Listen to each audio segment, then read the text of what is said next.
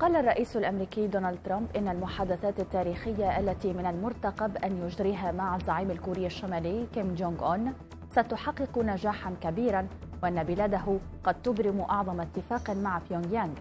وكشف ترامب في وقت سابق أن كوريا الشمالية تعهدت بوقف التجارب الصاروخية خلال المحادثات حول نزع أسلحة بيونغ يانغ النووية.